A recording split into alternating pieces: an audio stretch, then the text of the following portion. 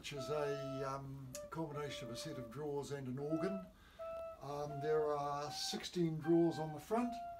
The top two sets of drawers here are the ones that operate the organ and the six drawers and the three bottom banks are just just drawers. They're just drawers. So it's a piece of furniture, not an instrument, foremost. Um, the notes themselves, you've got the basic scale of C. C major, so you've C.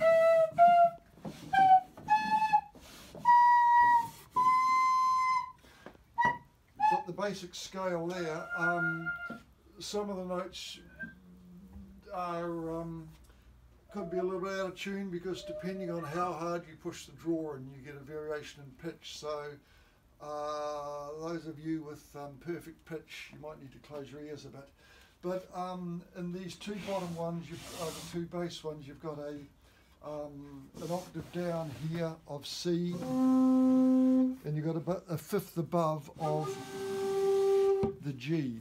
So you've got um, octave down of C, um, normal scale C through to C, and uh, the fifth above G. So if you want to, you can play. Uh, you can actually have two people playing it and um, have a bit of fun. The, uh, it's all made out of recycled New Zealand kauri. Um, on the fronts of the musical notes, I've got old typewriter keys um, indicating the the notes that um, the different drawers represent. Um, so if we turn around to the back of it, this is the musical end of it. This is just a screen I made up to prevent little kids' fingers getting to the critical part of the, or the delicate part of the organ pipes. That just comes off this screen is a musical stave and it's an excerpt from Ode to Joy. Um, now, which is what this is all about. It's about having some joy with, uh, with the project. These are just simple um, wooden organ pipes that are um, just simple square open pipes. The, the two banks of drawers, you've got a bank of drawer here, drawers there, another one here. The bottom ones feed up into, a, and the top ones feed directly out the back into a chamber through here, which has got 10 individual um, chambers inside it, which of course feed through into these here. And the outlets come into, into the pipes themselves, just so a simple little PVC pipe.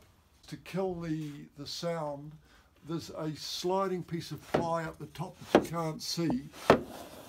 You can just see it going there. There's holes that line up. There's, there's vent holes in the top of those chambers that, as you can see, that's open and you got it closed. So that's how I ventilate the the holes to to um, allow sanity in the house.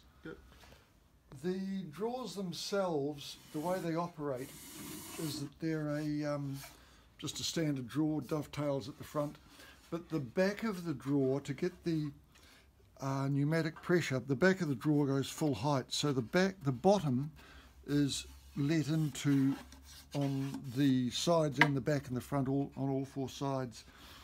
The and at the back of it, we've got just a simple flap valve, um, just with a piece of cloth.